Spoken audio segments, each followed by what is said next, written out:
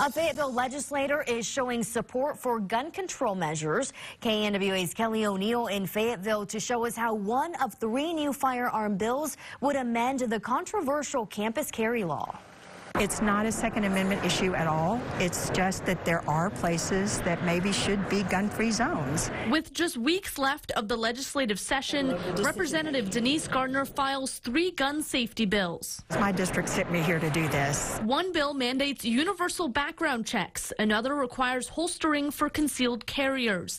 And House Bill 1938 would amend the campus carry law, restoring the decision-making back to the university. My predecessor was the author of the bill that um, pushed through fairly quickly and not vetted, and there are just a lot of unintended consequences. Current campus carry law, which was introduced by Charlie Collins and signed into law in 2017, allows someone with enhanced carry training to carry a concealed firearm on college campuses in government buildings. It's been a controversial law since the beginning. Collins previously saying it's an extra layer of safety in public places. I believe that what that'll do is help deter some of these potential killers from trying to commit crimes here in Arkansas. We didn't do anything to 562 except pull the colleges, college campuses out.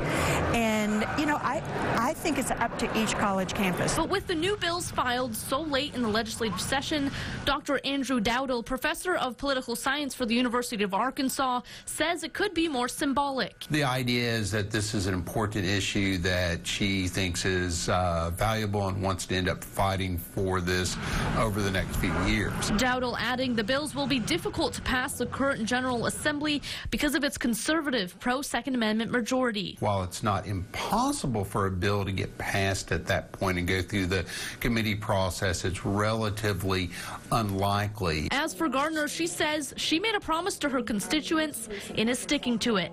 In Fayetteville, Kelly O'Neill, KNWA, Northwest Arkansas News.